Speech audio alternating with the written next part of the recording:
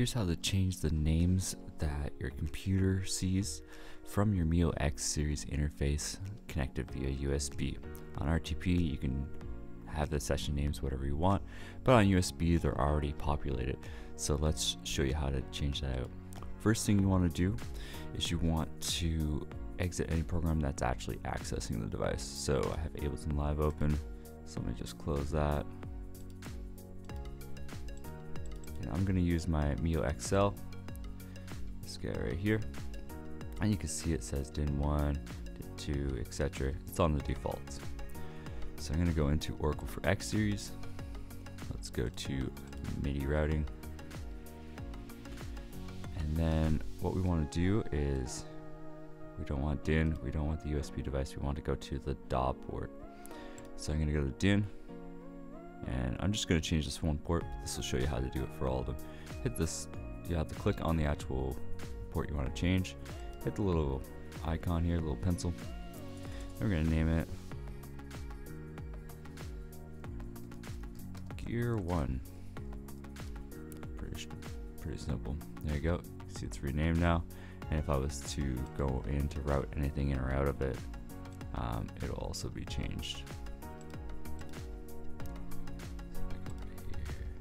see it hasn't it updated right there there you go gear one um, so in order to get this to show up we're done with Auracle X series right now we just need to go into MIDI Studio so go to the spotlight search go to audio MIDI setup If you don't see this page, go to Window and go to Show MIDI Studio.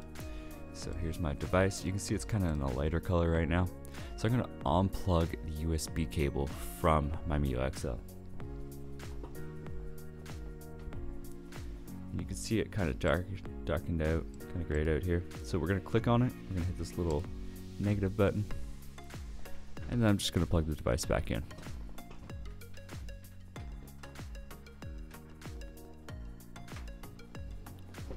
A note to make is that if you have any extra routings in here, you need to make sure that you delete the device from every other routing. Uh, most people don't use these, but if they're there, uh, it's important to get that. So now, here's my Mio XL. Let's come back up. It's rescanned it as a new device because I deleted it.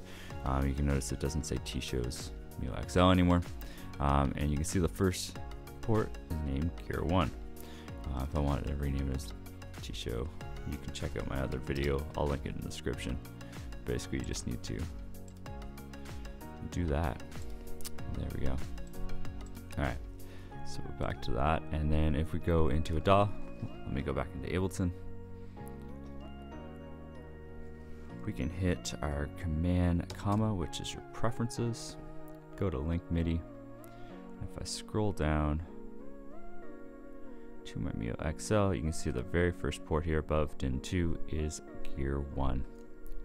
So if you have any questions, let me know.